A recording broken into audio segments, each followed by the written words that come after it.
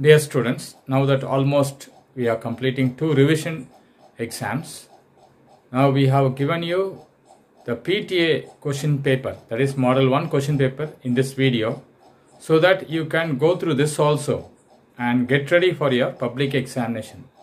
Going through more question papers will help us to improve our marks in the public examination. Now let's get into the video.